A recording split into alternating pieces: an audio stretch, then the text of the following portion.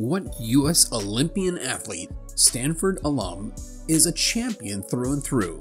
That would none other than be Kassidy Cook, an American diver born May 9, 1995, who was a member of the United States national diving team back in the year 2012. What you may not have known is she missed out on a competing in the Olympics, but were 0.4 points on June 23, 2012. But fortunately, in 2016, she qualified for and was able to compete in the 2016 Summer Olympics.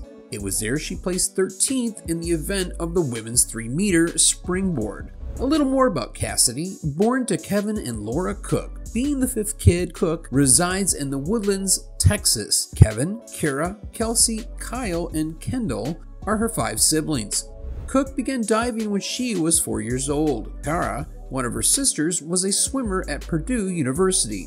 It was six days a week that Cook practiced for five hours a day. Before beginning to dive, she worked as a kid model. She was awarded the 2010 High School Girls National Champion in the Diving All American program by the National Interscholastic Swim Coaches Association.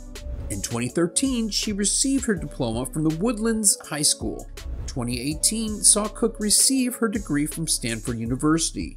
From 2005 to 2016, she had a great career and what would be considered very successful and fulfilling. From the Speedo Junior National Diving Championships to the USA Diving Winter National Championships, Kassidy has been a winner through and through.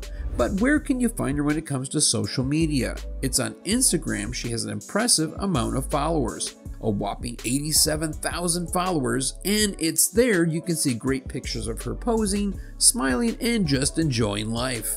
So, what are your thoughts on this awesome Olympic diver? Let us know in the comments below.